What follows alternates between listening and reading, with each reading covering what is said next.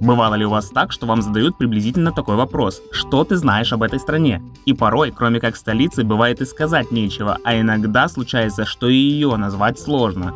Давайте будем это исправлять. Смотрите нашу подборку 5 фактов о стране, которые должен знать каждый.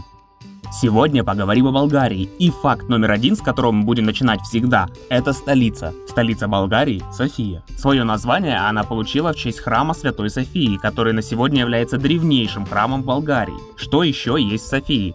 Самая старая тюрьма Болгарии, прямо в центре города, термальные минеральные источники, количество которых в Болгарии меньше разве что, чем в Исландии. А еще в Софии есть горнолыжный курорт. Болгария располагается на востоке Европы. Там есть горы, Балканы. Они занимают 22% площади страны. А на востоке Болгарии ее омывает Черное море, побережье которого растянулось на 400 километров.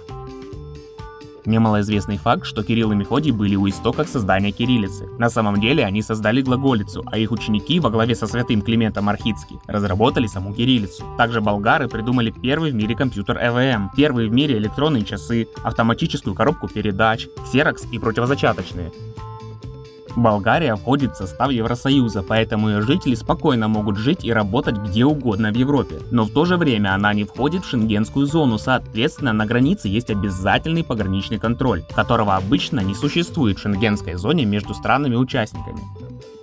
Болгарский перец – это сорт сладкого перца, который вывели местные селекционеры. К слову, в Болгарии этот перец называют пиперка или чушка, но никак не болгарский перец.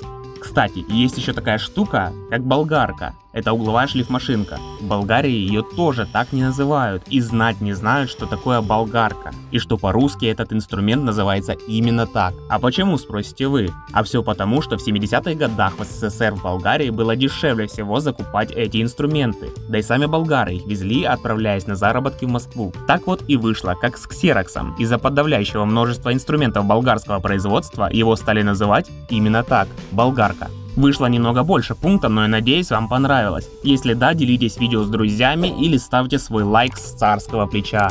А на этом все, до новых видео, до новых встреч, пока.